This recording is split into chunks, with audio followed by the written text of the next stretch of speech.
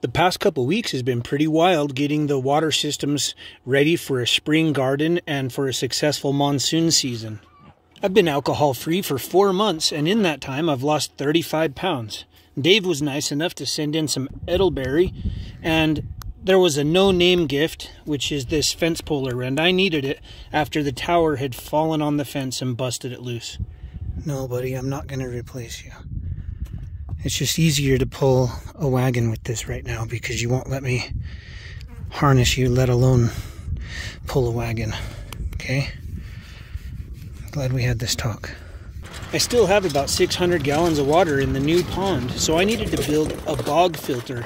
I ran and got some stone, dug a hole up above the pond, and I'm going to line it and then throw in rock, plant fabric, more rock, and I'll run a 12 volt pump so it pumps the water up from the pond up into the very bottom of the bog filter.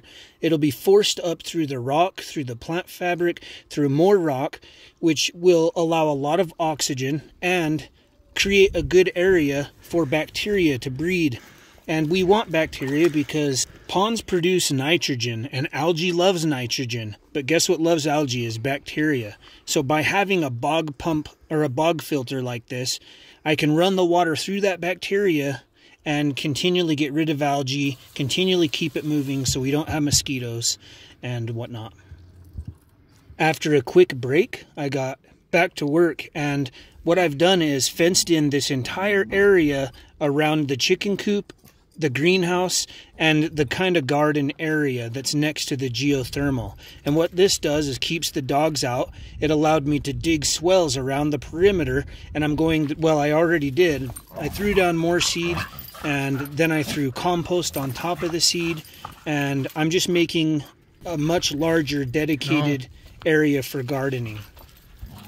The only way to get into the garden is through the greenhouse. So I have two large doors at the front. You walk through the greenhouse, there's two large doors in the back, and then you have access to the garden. And what I plan to do next is tear apart the old compost bins, use that corrugated steel at the back of the garden to make a solid wall so no wind can come in and damage the garden and then I'll just use rewire and I'll make two big hoops and fill those full of compost and I'll just keep them moving that way.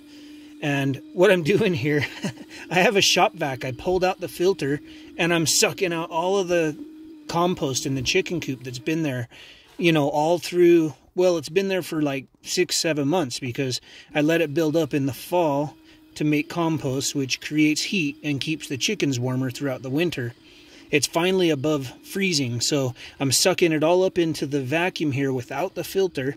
And then I'm going to dump it around all these swells that I have just dug to help with seeds and whatnot. Because this has been composting essentially for six months in the chicken coop. If you want a copy of my free ultimate guide to off-grid living, hit the link below. In addition to the swells I dug around the perimeter of the garden, I dug one on the outside of the fence here that runs over to the pond from the opposite direction of the original swells, which already fill the pond, so I'll just be getting more water directed to the pond in monsoon season. The pond and the garden are coming along nicely, and I'm ready for the rain.